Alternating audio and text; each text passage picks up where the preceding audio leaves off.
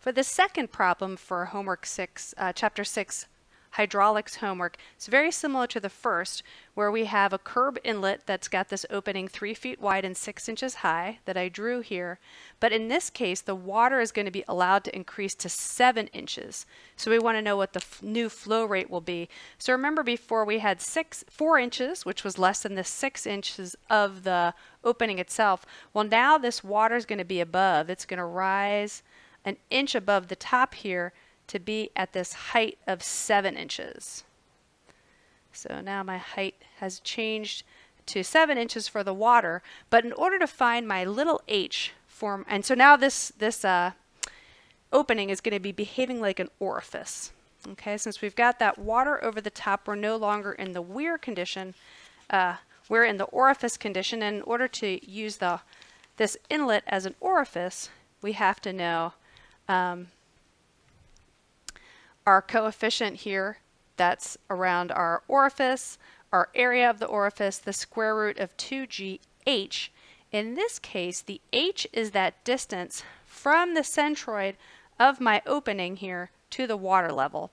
So remember my opening was 6 inches tall, so the centroid of that vertically uh, would occur right in the middle here at 3 inches from the top and bottom. But now I am adding this extra inch to the top. So my h is going to be that distance from the centroid to the top of that water level. So my little h is going to be 4 inches.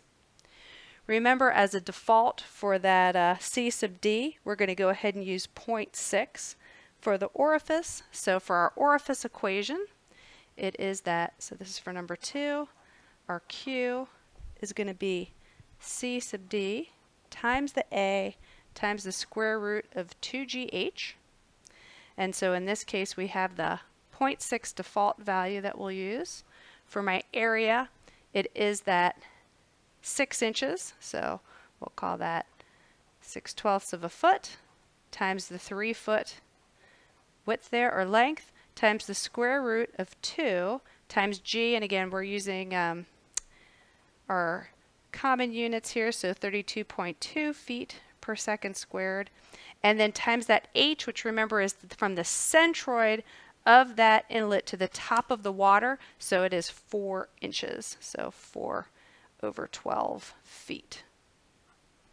And we go ahead and do that math, and we wind up with 4.169 uh, cubic feet per second, so we'll round that to one decimal place again and call that 4.2 cubic feet per second for the Q when that inlet is over full there to the 7 inches and behaves like an orifice.